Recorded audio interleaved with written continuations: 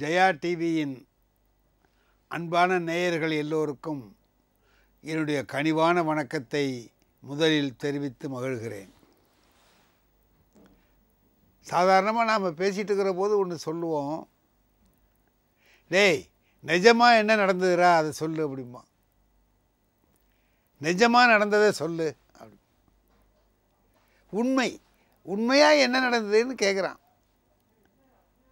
இப்போது உண்மைனா என்ன? பொய்னா என்ன? உண்மையை என்ன என்னன்னு ஒருத்தரை கேட்டோம்னா அவங்க என்ன விளக்கம் சொல்லுவாங்க? ஒன்றும் சொல்ல மாட்டான். நடந்ததை அப்படியே சொன்னால் உண்மை. பேசினதை அப்படியே சொன்னால் உண்மை. கேட்டதை அப்படியே சொன்னால் உண்மை. இதுதான் உண்மை அப்படின்னு.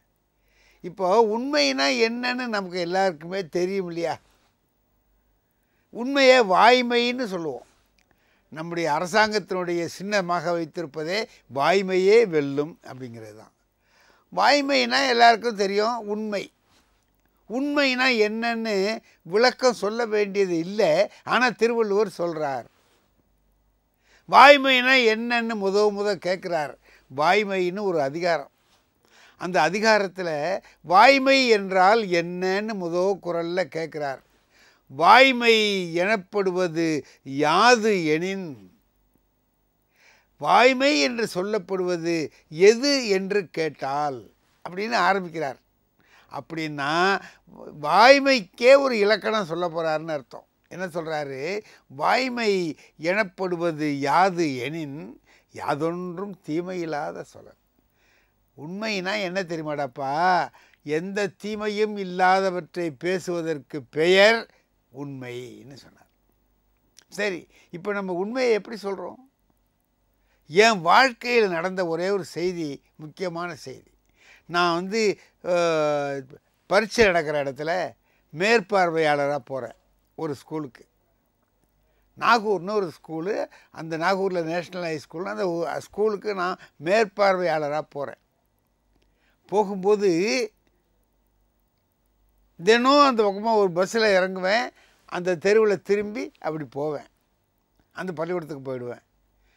மேற்பார்வை பார்ப்பேன் பார்த்துட்டு திரும்பி வந்துடுவேன் கடைசி நாள் அன்னையோட தேர்வெல்லாம் முடியுது. பா பரீட்சையெல்லாம் அன்றைக்கி முடியுது. அப்படி நான் போய் திரும்ப போகிற போது அந்த திரும்புகிற வீட்டு வாசலில் ஒரே அழுகுறல் ஓன்னு அழுகுற சத்தம் கேட்குது என்ன என்னன்னு விசாரித்தேன் இங்கே ஒரு ஆட்டோ டிரைவர் இருந்தாருங்க திடீர்னு இன்னைக்கு காலையில் இறந்து போயிட்டார் அப்படின்னு சொல்லி சொன்னான் அட பாவமே அப்படின்னு நான் வருத்தத்தோடு வந்தேன். வந்தவுடனே அந்த பள்ளிக்கூடத்து ஹெட்மாஸ்டரு வந்தியப்பா வரும்போது பார்த்தியா அங்கே என்ன நடந்துச்சு நாங்கள் அழுதுகிட்டு இருக்காங்க அப்படின்னு அல்லப்பா அந்த ஆட்டோ டிரைவர் திடீர்னு நெஞ்சு வழியில் இறந்து போயிட்டார். அவர் பையன் பரீட்சை எழுதுறான் நம்ம பள்ளிக்கூடத்தில். இன்றைக்கி தான் கடைசி பரீட்சை. அவன் எப்படி வந்து எழுத போகிறான்னு தெரியல அப்படின்னு சொன்னார். எனக்கு வருத்தமாக இருந்துச்சு. நான் அப்புறமா போனேன். ஹாலுக்கு போயிட்டேன். என்னுடைய பரீட்சை நடக்கிற அந்த அறை எதுவோ அதுக்கு போயிட்டேன். அதில் போய் பேசுகிறேன் உட்காந்துருக்கேன் எல்லாருக்கும் பேப்பர் கொடுத்தாச்சு மணி அடித்தாச்சு எல்லோரும் பரீட்சை எழுதுகிறான் அரை மணி நேரம் ஆக போகுது. அரை மணி நேரத்துக்கு பிறகு புதிதாக எந்த மாணவர்களும் வரப்படாது அறைக்கு. எழுதிக்கிட்டு இருக்கிறவன் அரை மணி நேரத்துக்கு முன்னாடியே பேப்பரை கொடுத்துட்டு போகக்கூடாது. இது ஒரு சட்டம் சட்டம். அரை மணி நேரத்துக்கு அரை மணி நேரம் பெல்லு அடிப்பாங்க. அந்த பெல்லு அடிக்கிறதுக்குள்ளே லேட்டாக வர்றவன் வந்துடணும். அதுக்கு பிறகு வந்தால் உள்ளே அனுமதிக்கக்கூடாது நான் அனுமதிச்சிருக்கக்கூடாது இதுதான் இப்போ பாருங்கள் வர்றான். அந்த பையன் ஒடியாடுறான் வேகமாக ஒடியாடுறான் ஒடியாந்து என்னுடைய அறைக்குள்ளே வந்து நுழைய போகிறான் காலை வைக்கிறான் மணி அடிச்சிருச்சு. அரை மணி நேரம் பெல் அடிச்சிருச்சு. இனிமேல் அவனை நான் உள்ளே விடக்கூடாது. ஆனால் அவன் ஒடியாந்தான். இங்கே உட்காந்து பரிசு எழுதிட்டு இருக்கிற பையன் பூரா சொல்கிறான் சார் அவங்க அப்பா தான் சார் இறந்து போயிட்டார். நேற்று இறந்து போ ராத்திரி காலையில் இறந்து போடுவார் அவர் தான் அவர் மகன் இவன் பரீட்சை எழுத ஓடியாடுறான் இப்போ நான் என்ன பண்ணேன்? மணி அடிச்சிட்டு உள்ளே விடக்கூடாது. ஆனால் நான் என்ன பண்ணேன் தெரியுமா? உங்கள அப்படின்னு கொஸ்டின் பேப்பரையும் ஆன்சர் பேப்பரையும் கொடுத்து போய் விரும்பு எழுது போ அப்படின்ட்டேன். நான் இப்போ ஒரு தப்பு பண்ணுறேன் விடக்கூடாது ஆனால் விட்டுட்டேன். போயிட்டான் எழுதிட்டுருக்கான் இங்கே மாவட்ட கல்வி அதிகாரி வந்திருந்திருக்கார் போலருக்கு எனக்கு தெரியாது. அவர் இதையெல்லாம் பார்த்துக்கிட்டு இருந்திருக்கார் அந்த தலைமை ஆசிரியர் அறையிலேருந்தே இதை பார்த்துருக்கார். அவர் விருன்னு என்கிட்ட வந்தார். அது எப்படி பெல் அடித்த பிறகு அவனை உள்ளே விட்டீங்கன்னு கேட்டார். இப்போ நான் என்னங்க சொல்கிறது நான் என்ன சொல்கிறது நான் சொன்னேன் இல்லை சார் அவன் வந்து பேப்பர்லாம் வாங்கிட்டு போன பிறகு தான் மணி அடிச்சதுன்னு சொன்னேன். போய் சொன்னேன். இல்லை நான் பார்த்துக்கிட்டு இருந்தேன். மணி அடித்த பிறகு அவன் வந்தான் அவனை நீங்கள் உள்ளே விட்டீங்க. இது தப்பு. நீங்கள் எக்ஸ்ப்ளனேஷன் கொடுக்கணும். இல்லை சார்.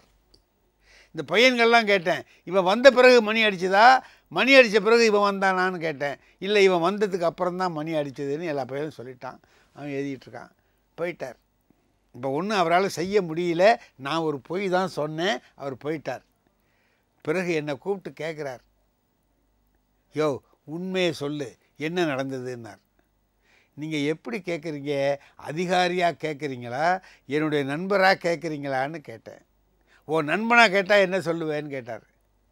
நண்பனாக கேட்டால் மணி அடித்த பிறகு தான் அவன் வந்தான்னு நான் ஒத்துக்குவேன். தப்பை ஒத்துக்குவேன் அப்படின்னு. அதிகாரியாக கேட்டால் இல்லை அவன் சரியான நேரத்துக்கு வந்துட்டான். அவன் வந்து பேப்பர் வாங்கின பிறகு தான் மணி அடிச்சதுன்னு பொய் சொல்லுவேன். பொய் சொல்லலாமா யாருன்னு நான் சொன்னேன் திருவள்ளுவர் பொய் சொல்லலாம்னு சொல்கிறாருங்க என்ன?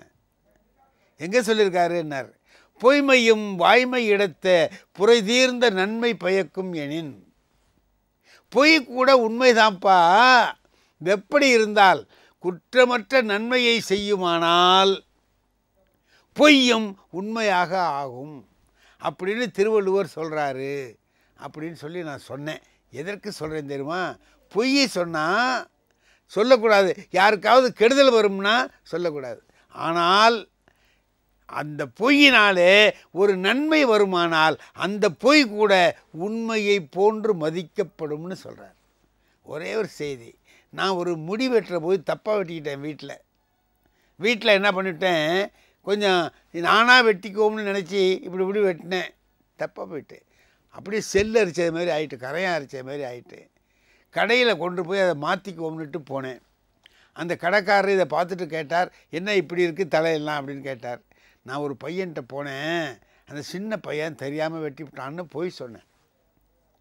இப்போ அவர் கேட்டார் சின்ன பையன் வெட்டினானா? அறிவு கட்ட பையன் எவன் இப்படி வெட்டினதுன்னு? கேட்டார். இப்போ அவர் என்ன தான் திட்டுறாரு. நான் ஒன்றும் சொல்ல முடியல. ஏன் தெரியுமா? போய் சொல்லிட்டேன். யோ அவனை திட்டாதையா ஏதோ சின்ன பையன் தெரியாமல் வெட்டிட்டான். நீ சரி பண்ணு அப்படின்னு. சின்ன பையலாவது இவனை எல்லாம் உதைக்கணும் சார். அப்படிங்கிறார். இப்போ என்ன தான் அவர் சொல்கிறாரு ஆனால் நான் ஒன்றும் செய்ய முடியல. நல்லா பாருங்கள் கடைசியில் என்னடா ஆச்சுன்னா நான் உண்மையை ஒத்துக்கிட்டேன். ஐயா நான் தான் வெட்டினேன். தெரியாமல் வெட்டிட்டேன். அப்படின்னேன் முதல் தடவையிலேயே நீங்கள் ரொம்ப நல்லா வெட்டியிருக்கீங்க சார்னு என்னை பாராட்ட ஆரம்பித்தான் எதற்கு சொல்கிறேன் பொய் சொல்லலாம். அதனால் ஒரு நல்ல நன்மை விளையுமானால் சொல்லலாம் என்பதை திருவள்ளுவர் ஏற்றுக்கொள்கிறார் நன்றி. வணக்கம்.